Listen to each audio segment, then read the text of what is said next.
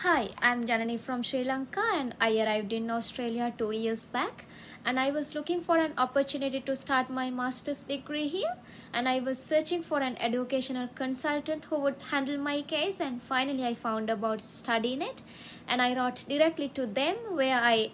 got an immediate response from them so that I could discuss my case further. And they were happy to accept my case and they handled it very perfectly. So from that point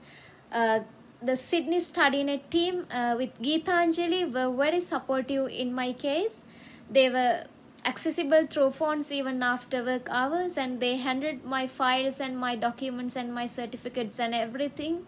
uh, very neatly and they coordinated them between myself and the university very efficiently so as a result i could get uh, the full offer from the university within a very short period of time uh, within two weeks time it, which is very unbelievable but they made it happen it was also the onset of covid-19 um, season where Gitanjali was very efficient in her work and finally I could get uh, the offer for the university for the next intake of the Charles Darwin University. So uh, for any person uh, who is onshore or who is offshore,